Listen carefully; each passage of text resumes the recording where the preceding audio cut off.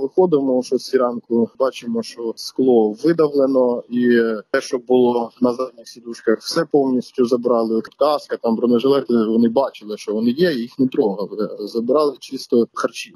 Зараз зробимо скло, догрузимо машину там трохи у батальйону небайдужих, трохи також підприємці догрузять, і все ж таки поїдемо сьогодні.